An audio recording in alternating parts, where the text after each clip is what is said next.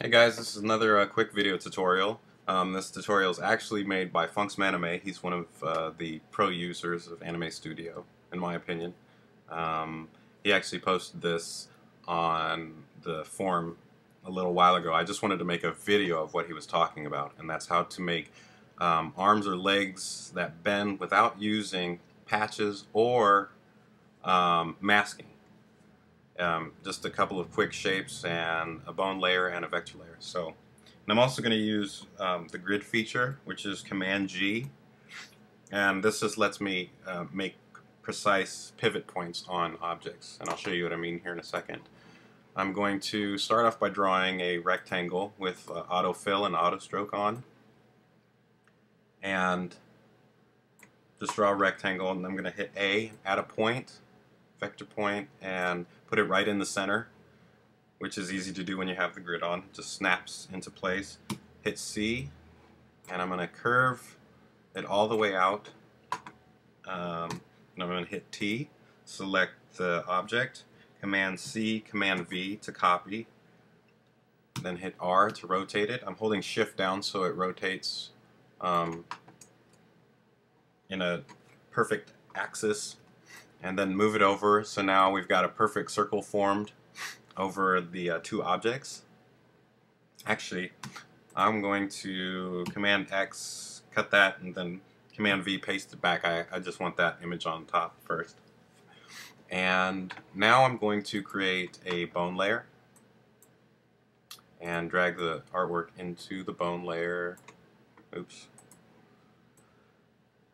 Uh, right there and select the bone layer and hit A or click on the icon to add bones.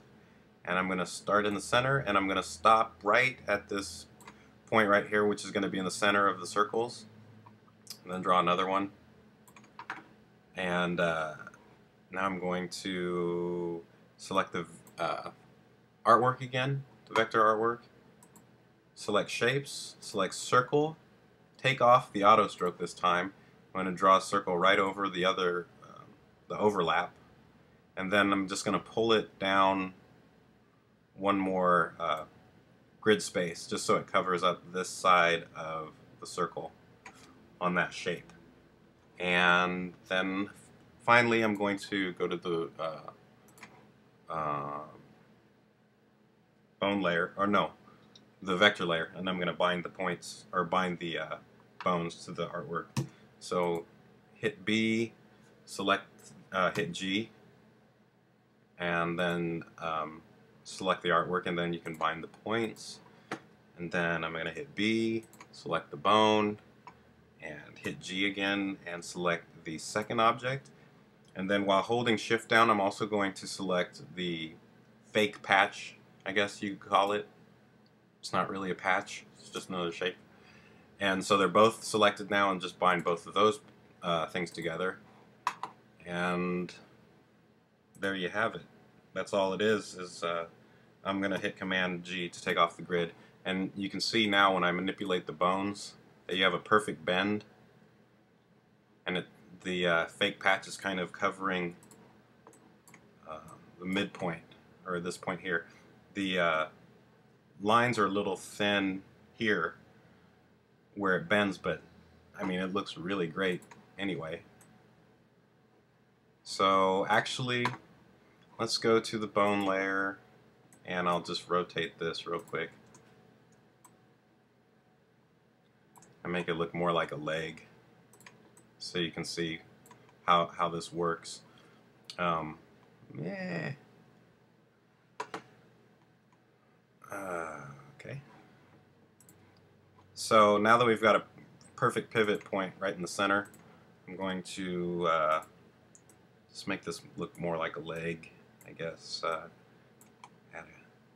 make it look like a calf muscle here. Kind of bend it out maybe. It's kind of a funky looking leg, but add some more points here.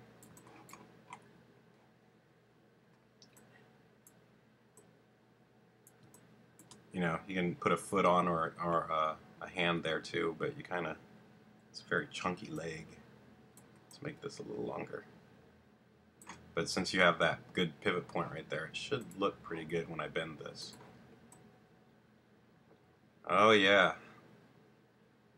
That looks like a leg running, kind of, by itself and no foot. But, you know, it works. Um, so, once again, this is for beginners or, you know, if you have a lot of trouble making uh, joints or pivot points. This really, really, really helped me a lot. And like I said again, this is from Funks Anime. He's uh, advanced users on anime this anime studio forum. So check his stuff out. And that's it.